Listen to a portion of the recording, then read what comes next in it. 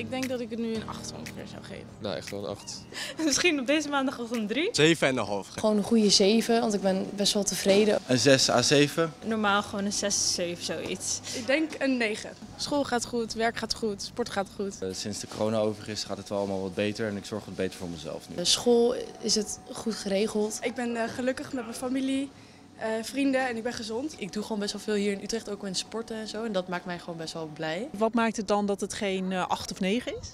Uh, nou, ik wil natuurlijk mijn HBO afronden. Ik wil nog een uh, huis kopen laten, allemaal van dat soort dingen, zeg maar. Ik heb dan een vriend en hebben af en toe wel eens ruzie en dan gaat mijn hele moed gaat van hier, gaat er helemaal naar beneden toe. Huur iets aantrekkelijker maken. Mijn autotheorie die ik al twee keer niet heb gehaald. Minder soort van grijs en blokkerig. Dat een beetje.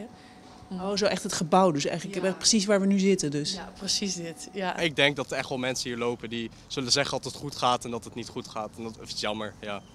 Wat, wat zou je daarin kunnen doen? Uh, ik denk dat ze gewoon veel moeten, bijvoorbeeld mo moeten mediteren en dat soort dingen. Goed opzoeken, self-love self en positivity, dat soort dingen. Ik kijk veel van dat soort video's, zeg maar. En dat helpt mij ook gewoon mijn geest uh, gewoon schoon te houden, zeg maar. Gewoon positiviteit naar binnen te houden. En negativiteit gewoon uit te laten flowen, bijvoorbeeld. Gewoon de problemen eruit te halen en gewoon goed leren voor je autotheorie. Altijd iets blijven doen wat je leuk vindt. Uitmaken met je vriend? Nee, nee, nee, nee, nee, dat zeker niet. Ik ben wel heel, verder heel blij met hem. Ik denk dat het belangrijk is om te focussen op wat je wel hebt. En uh, niet te veel zorgen maken over dingen die je niet kan veranderen.